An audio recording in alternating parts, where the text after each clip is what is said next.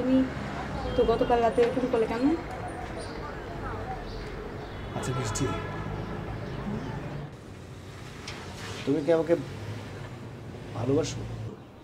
হ্যাঁ কেন না? আর ভালোবেসো না। আমার সহ্য হবে না। মানে কি? মানে যে কি আমি নিজেই বুঝতে পারছি না। ভাইজান ভাইজান কি এখন একটু সুস্থ হয়েছে ভাবি? হুম আগের থেকে একটু। ও আমি খুব ভয় পেয়ে গেছিলাম বুঝছেন? যাক ভালো হয়েছে ভাবি আপনারা তো এখনও নাস্তা পানি করেন নাই। আমি কি নাস্তা পানি এনে দিব? না এখন লাগবে না লাগলে আমি বলব।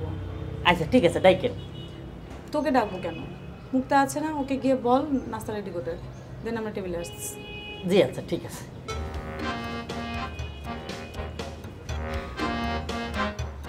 আচ্ছা বৃষ্টি আমি যদি তোমার কাছ থেকে অনেক দূরে চলে যাই তুমি তখন কি করবে? আমিও তোমার পিছু পিছু যাব। আর বিয়ে করেছি কি একা থাকার জন্য? ধরো আমি টাইটানিক সিনেমার মতো ডুবে মরে গেলাম। আমিও ডুবে মারা যাব। তুমি তো সাঁতার জানো আমি সাঁতার জানি না তাও তুমি মরে যাবে? তখন আমি সাঁতার ভুলে যাব। আল্লাহ প্রত্যেকের ঘরে ঘরে এই রকম বউ যদি থাকে তাহলে বুঝতে ভালোবাসা কত নিষ্ঠুর। মানে কি? হ্যাঁ? কি কি জানি? জানি না। আচ্ছা শুনলাম আহমদ ভাই তুমি নাকি আনবের বিয়ের পরে বাড়ি ছেড়ে চলে যাবে? হ্যাঁ ব্যাপারটা তাই ভেবেছিলাম কিন্তু পরে ভাবলাম যে এরকম নিরাপত্তাহীনতায় আমি একা থাকতে পারব না। তার চেয়ে মির্জা মঞ্জিলে থাকাটাই ছিল হুম আমিও তাই মনে করি। আর আমি চলে গেলে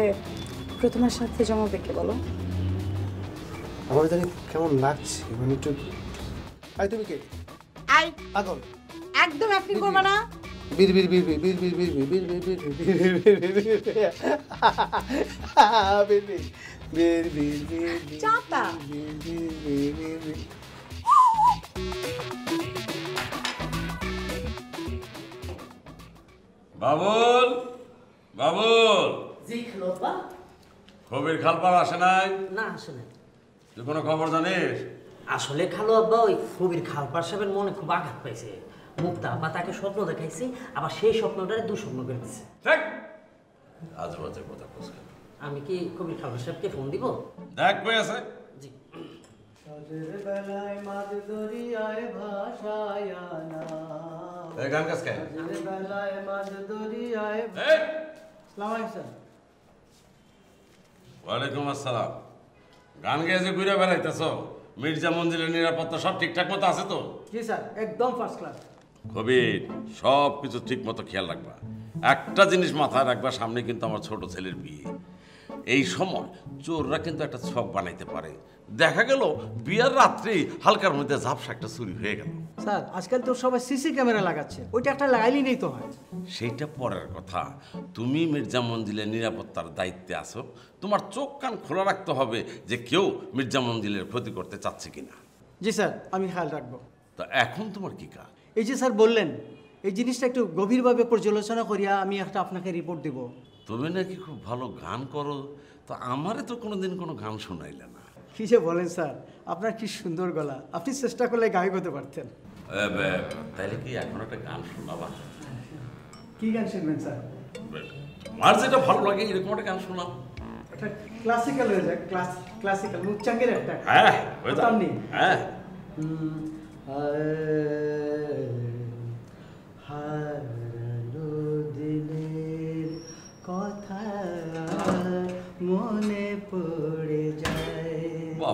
হারানো দিনের কথা মনে পড়ে যায়। পাই না ভেবে মনে পাই না ভেবে মনে কি যে করি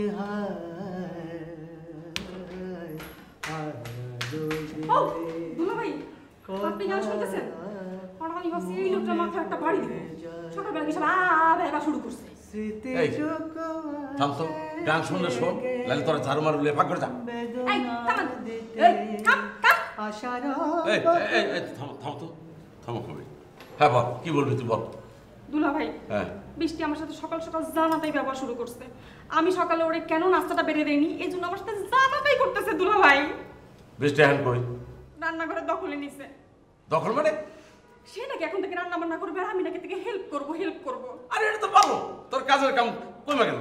না দুলা ভাই আমি এসব মোটেই যাই না। হয় রান্নাঘরে ও থাকবে নাহলে আমি থাকব। এখন আপনি ডিসিশন নেন কি করবেন? আরে কি মুশকিল। আচ্ছা কাম কর। বন্যা ভালো তুই এখন যা আমি তোর আপার লাগে বুঝা তোর জানাইতেছি। যা যা। জানায়েন কিন্তু দুলা হ্যাঁ হ্যাঁ। তুমি গানটা তোর খুব মজাদার গান হ্যাঁ। স্মৃতিটুকু আছে জেগে বেদনা দিতে। আশার বকুল সেথা পথ জুড়িতে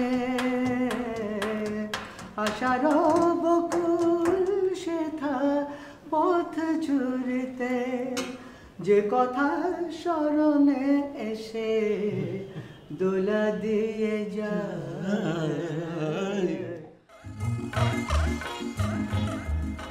ভালো ঝামেলায় পড়ে গেলাম ফখরুল কেন স্যার? কি হয়েছে? আমার তো মনে হয় না যে আসিয়া কাবিলকে অ্যাকসেপ্ট করবে। বলেন কি? হ্যাঁ সে তো আমাকে বলল যে আমাকে কিছু বলতে হবে না সেই কাবিলকে ম্যানেজ করে ফেলবে। ও তাহলে স্যার কেন এত চিন্তা করতেছেন?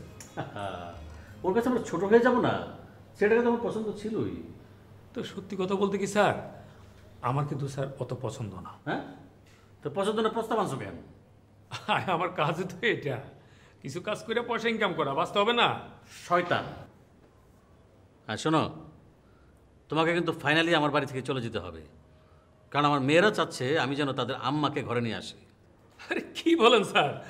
ভাবি যদি একবার আমার সাথে কথা বলে তাহলে দেখবেন কি দেখব?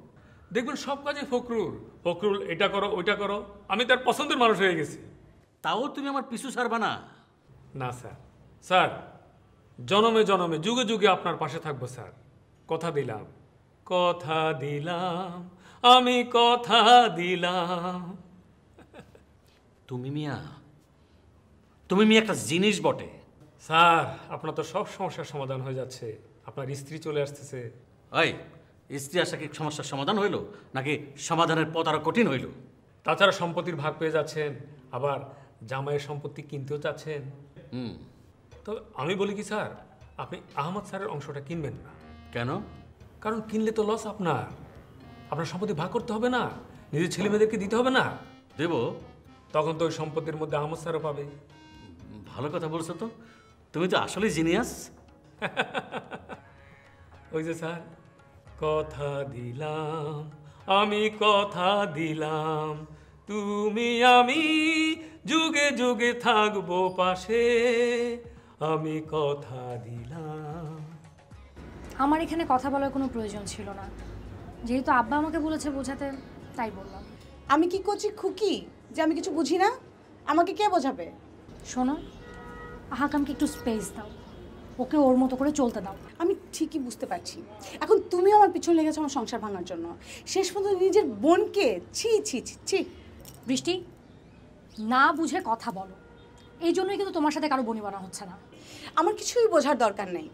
শুধু মির্জা মঞ্জিলে মানুষ না এই ঈদ দেয়াল সবাই আমার বিরুদ্ধে ষড়যন্ত্র করছে আমার সংসারটা ভাঙার জন্য। যাতে তোমরা দু বোন এই বাড়িতে রাজত্ব করতে পারো। আমরা চলে যাচ্ছি তুমি শুনেছ? ও সময় আমি বুঝি সব লোক দেখানো। প্লিজ আফিয়া তুমি আমাকে আর কিছু বোঝাতে এসো না। ঠিক আছে। আর তুমিও কোনো দিন আমার কোনো বিষয় নিয়ে কথা বলতে আসবে না। কথাটা মনে রেখো তুমি। মনে থাকবে। আর ভালো থেকো তবে আমি জানি তুমি ভালো থাকার মেয়ে না। ভালো থাকলে তোমাকে কামড়ায়। আহকামের মতো একটা ভালো ছেলে যার কপালে সহ্য হয় না তার কপালে ফাটা বাস ছাড়ার কিচ্ছু নাই। খুব বেশি বলে ফেলেছো কিন্তু আফিয়া। খুব খারাপ হয়ে যাবে কিন্তু। তোর মতো মেয়ে আমার কি করবে জানা আছে। ফাও আফিয়া! শুনছি। হয় তুই এই বাড়িতে থাকবি নয় আমি এই বাড়িতে থাকব। দেখব। দেখিস আমি যাচ্ছি আব্বার কাছে। যা। আকাম! আকাম আসিয়ার সাথে ফোনে কথা বলে।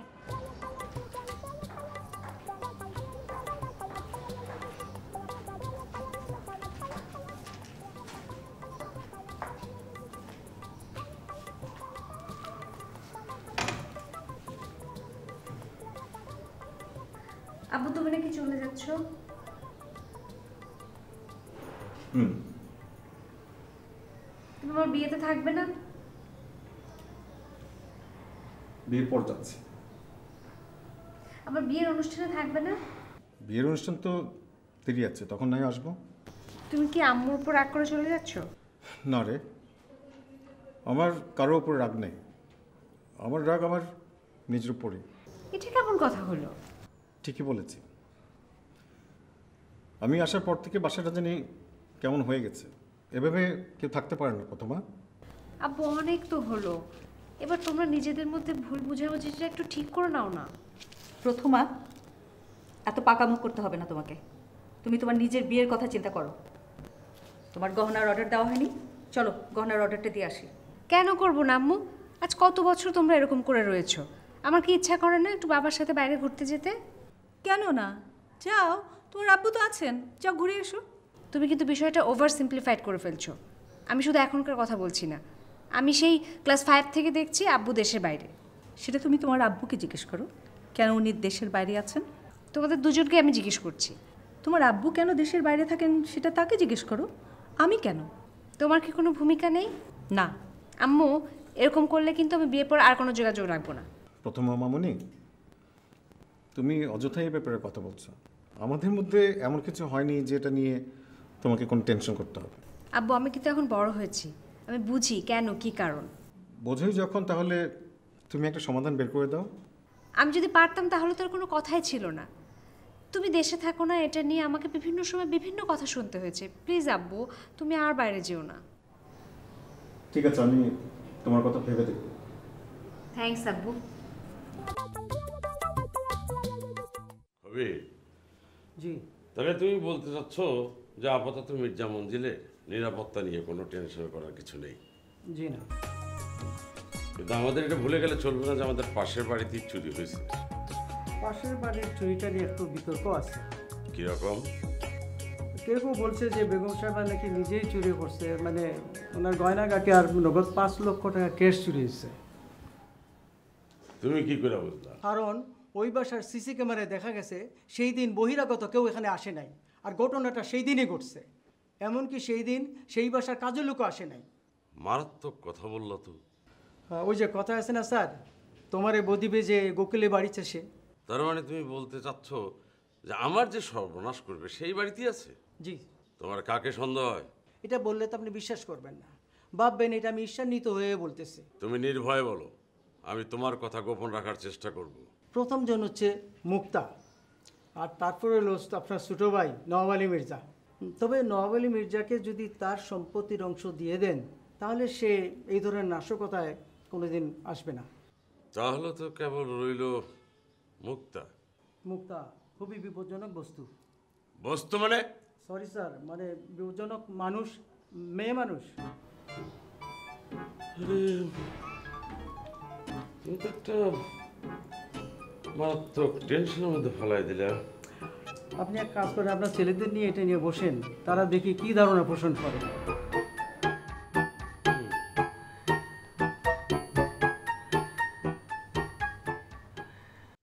দেখো মালেকা তুমি কত বছর পর আমার ফোন করছ? সেই হিসাব আমি রাখি নাই রাখতেও চাই না। তুমি কি কারণে ফোন করছ সেটা আমার জানা নাই। তবে আমার ছোট মেয়ে আসিয়া তোমার সাথে দেখা করছে, সেটা আমি জানছি। আমি তারা কিছু বলি নাই। বলব না। কারণ সে তোমার মেয়ে। তোমার ছেলেমেয়েরা তোমার সাথে দেখা করুক, তাতে আমার কোনো আপত্তি নাই। কিন্তু তুমি আমারে ফোন করতেছ, সেই ব্যাপারে আমার আপত্তি আছে। তাই বলব, দয়া করে আমাকে ফোন করে ভীমরুলের চাকে খোঁচা দিও না। তাতে ক্ষতি তোমারই হবে। কারণ ভীমরুল কিন্তু তোমার অসুস্থ শরীর বুঝবে না। সে তোমাকে কামড়ে দেবে। বুঝছ আমার কথা? ভালো থেকো। আকাশের ঠিকানায় চিঠি লিখো।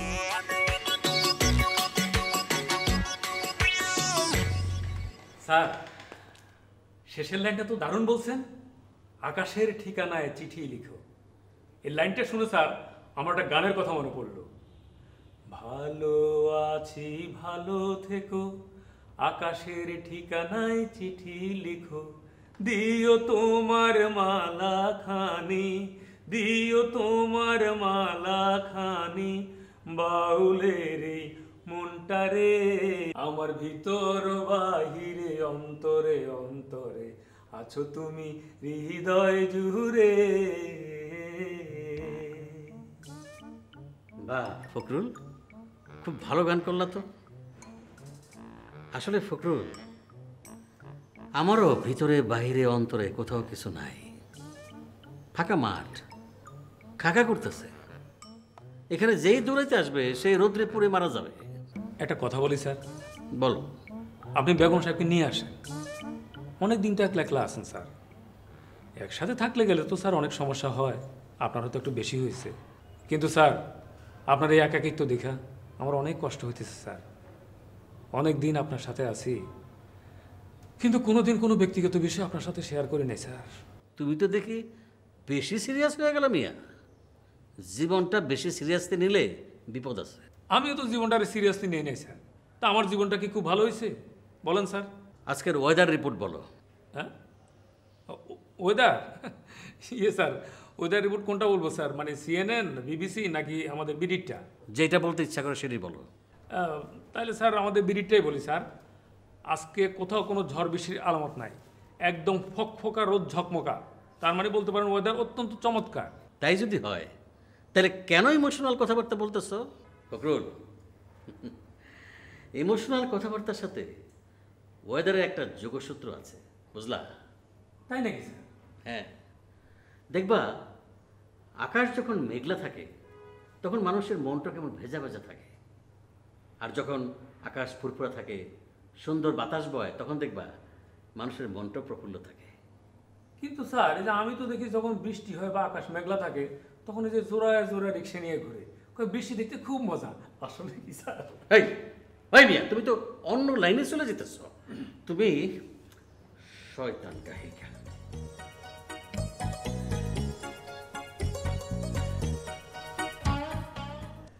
বললে যে আসবে এর জন্য না আমি ওয়েট করছি। তোমার স্যুটের মাপ লাগবে তো? না না আমি তো স্যুটটা এইসব কিছু পরবো না। তাহলে কি লুঙ্গি গেঞ্জি পরবে? না না সেটা পরতে পারলে তো খুবই ভালো হতো খুব আরাম লাগতো। হ্যাঁ আমি জাস্ট সিম্পল জিনিস পরবো ধরো পায়জামা পাঞ্জাবি। সেই সিম্পলটাও আমি ডিজাইনারকে দিয়ে ডিজাইন করাবো। সিম্পল একটা পাঞ্জাবি তোর ডিজাইনারের কাছ থেকে ডিজাইন করার কোনো দরকার নাই। তুমি কি আমার কথা শুনবে নাকি? অফকোর্স শুনব। তাহলে আসো। আমি সরাসরি গয়নার দোকানে ওখানে চলে আসি তারপর ওখান থেকে বের হয়ে তোমার ডিজাইনারের ওখানে গেলাম। আচ্ছা ঠিক আছে তাই করো। আর শোনো বাসার সবাই কেমন আছে?